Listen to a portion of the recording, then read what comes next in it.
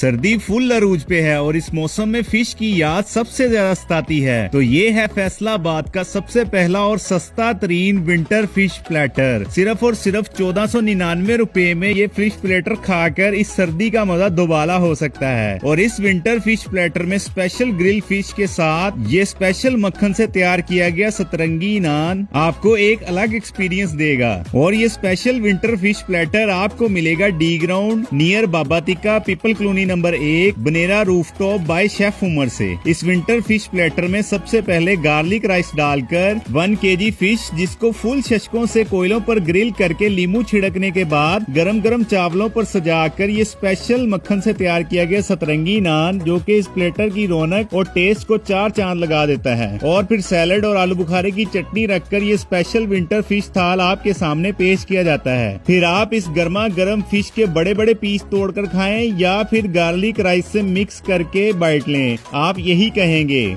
चस आ गई।